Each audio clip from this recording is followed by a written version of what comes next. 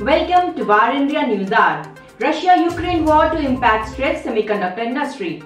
There is growing tension and bad news for the already stressed semiconductor chip industry. This comes at a time when chip makers are struggling to keep up with the demand for chips across the computing and automobile sectors, among others. Experts predict that the Russia-Ukraine war has the potential to constrain the supplies of neon and palladium, two critical components in the manufacturing of semiconductor chips. Ukraine is a major supplier of neon gas, which is used in the lithography stages of chip production. Sources said Ukraine has a share of 90% semiconductor grade of neon, a noble gas. The gas, a byproduct of Russian steel manufacturing, is purified in Ukraine, market research firm Techcet says. Russia is the source of 35% of the palladium used in the United States. The metal is used in sensors and memory, among other applications. This could lead to an increase in the cost of production of semiconductor chips. Both Russia and Ukraine are vital exporters of raw materials used in the manufacturing of chipsets and semiconductors. With these chips being vital to all modern electrical devices, companies may decide to pass on these costs to buyers, leading to an increase in the prices of consumer technology products. Europe faced one of its biggest security crises in decades after Russia invaded Ukraine by land, air and sea.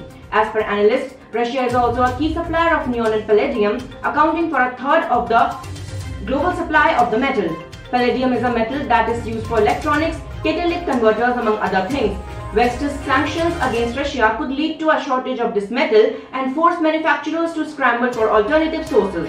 Large chip companies said they expected limited supply chain disruption for now from the Russia-Ukraine conflict thanks to raw material stockpiling and diversified procurement, but some industry sources said there could be an impact longer term. Sources said the availability of those materials is already tight, so any further pressure on supplies could push up prices. The White House said that it planned to choke off Russian access to a range of US tech, including semiconductors, as part of the economic sanctions package proposed in response to the invasion of Ukraine. The sanctions have the potential to severely damage Russia's ability to get its hand on the most advanced chip made around the world. Despite the growing need for chips around the world, Russia isn't a primary market for chip makers. Russia is not a significant direct consumer of semiconductors.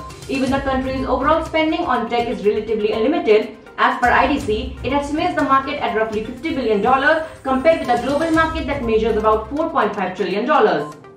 Let's look into today's headlines in Var India. Smartphone users can now approach Consumer Forum for deficiency in services.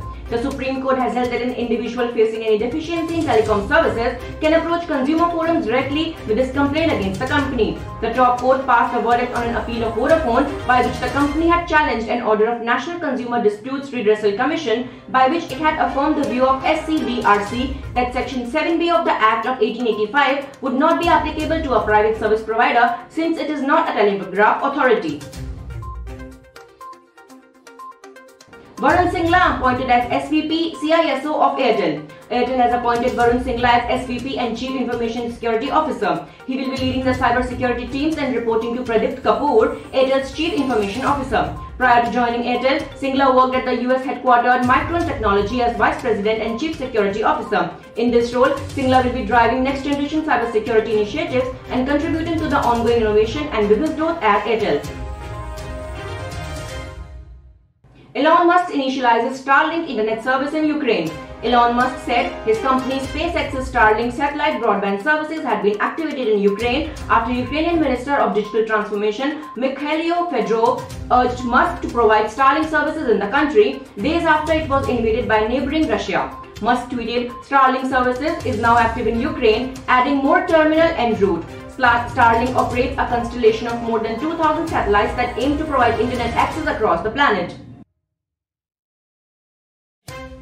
Government cancels rupees 19,000 crore BBNL tender. Following the lack of participation of eligible bidders, state-owned Bharat Broadband Nigam Limited has cancelled a rupees 19,000 crore tender that was floated for connecting villages across 16 states with an optical fiber-based high-speed broadband network. The project was divided into nine packages and tenders for each of the packages were floated separately. The project was approved in June last year to roll out an optical fiber network under BharatNet in 16 states in a public-private partnership model with a total expense of Rs 29,430 crore. NVIDIA allegedly stole back its data hacked by a ransomware group. NVIDIA recently suffered a cyber attack from a ransomware group called Lapsus Dollar that stole 1 TB of data from its Team Green, including personal information about employees and even some details about RTX GPUs. In return, NVIDIA attacked the ransomware group by remotely encrypting the stolen data and cutting off Lapsus Dollar's access to NVIDIA's network. Lapsus further claims to have already made a copy of the stolen data, making NVIDIA's successful encryption attempt somewhat futile. That's all for now. Please like, share, comment and subscribe to VAR India News Magazine. You can download the VAR India app from Google Play Store and Apple App Store for the latest news and updates. Stay tuned. Thank you.